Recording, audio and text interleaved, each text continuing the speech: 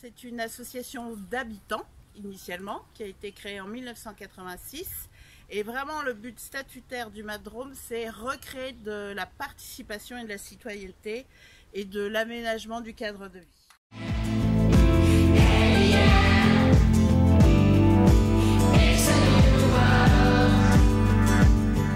C'est vraiment euh, euh, le jardin pédagogique pour les enfants le jardin comme espace de, développement, enfin, d'apprentissage, un multi-apprentissage.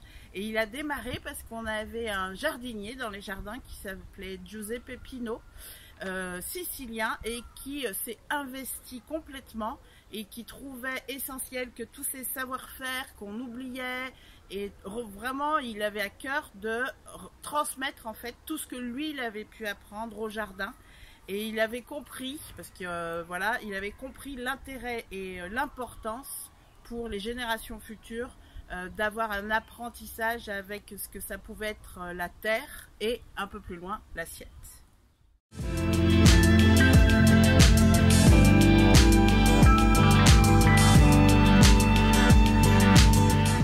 Programme de la Terre à l'assiette, c'est un programme qui se déroule du coup sur 4 mois avec des enfants d'école primaire et d'école maternelle.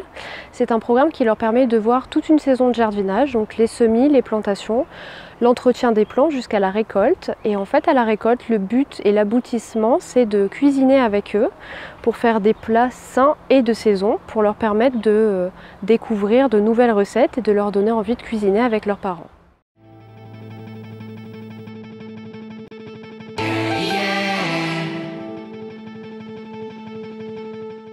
Accueillent le projet avec vraiment euh, une grande, enfin ils sont vraiment très très contents. On voit que ça leur fait plaisir. Souvent on fait d'abord une séance en classe pour introduire leur projet et leur permettre de leur présenter tout ce qui va se passer au jardin. Et on voit qu'ils sont vraiment contents, ils posent beaucoup de questions et qu'ils ils ont envie en fait d'aller jardiner et de mettre les mains dans la terre.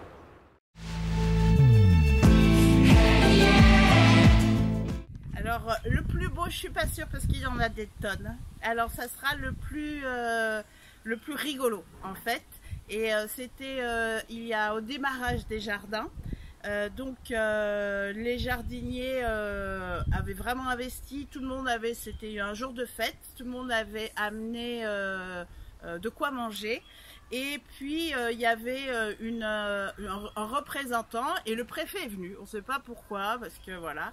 Et ce que j'ai trouvé superbe et adorable, c'est qu'il s'est fait entourer par les jardiniers qui lui ont donné à manger, enfin qui lui ont fait toute une assiette avec les produits du jardin et qui lui ont fait la visite. C'est même pas moi qui ai fait la visite, il a été capturé. Et puis il y avait un petit problème d'eau voilà, d'accès à l'eau euh, gratuite, enfin avec un forfait plus, sympathique. Et donc ils ont tellement euh, expliqué, valorisé leur travail et le jardin que le préfet s'est, euh, comment dire, démené pour qu'on ait accès à l'eau de la Bourne et qu'on ait une eau un peu moins chère et puis voilà.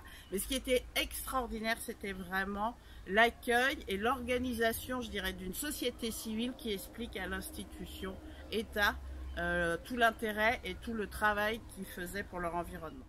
Au début des séances, et là où en fait ils découvrent les lieux et où on leur fait visiter donc la parcelle pédagogique et les jardins alentours, on voit qu'ils sont vraiment un peu émerveillés par les lieux et qu'ils découvrent un espace euh, un peu féerique dont ils n'avaient pas l'impression qu'ils pouvaient avoir euh, dans leur quartier.